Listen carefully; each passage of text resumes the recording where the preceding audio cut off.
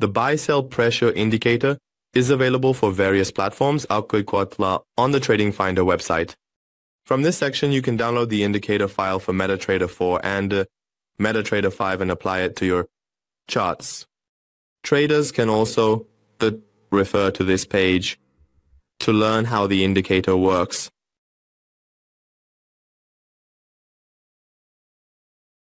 We select the indicator file from the navigator section and execute the indicator by clicking on the file on the chart.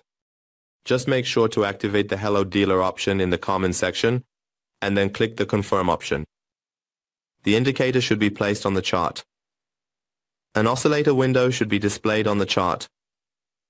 The indicator should be a handy tool for detecting buying pressure and selling pressure on the chart.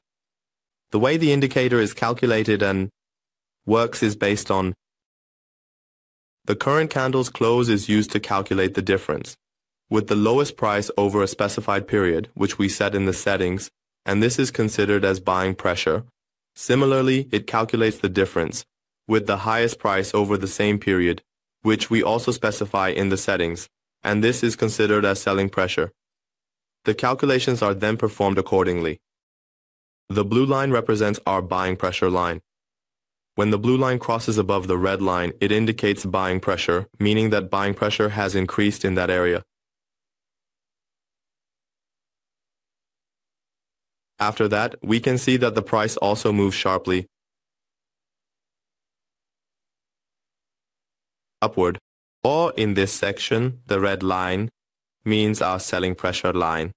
When the blue line crosses towards the fin, it indicates selling pressure in this range, which we see the price moving sharply downwards. In the settings section, in the input section, there is only one option available for us, where traders can select the calculation period settings. By default, it's set to 13, but here I'm going to set it to 21, and then click the OK button. Now we can see that the calculation period for the indicator has changed for me. And the oscillator is displayed on the chart. Well, friends, we've reached the end of this indicator tutorial. We would be happy if you could share your comments and, um, and suggestions with us in the comments section.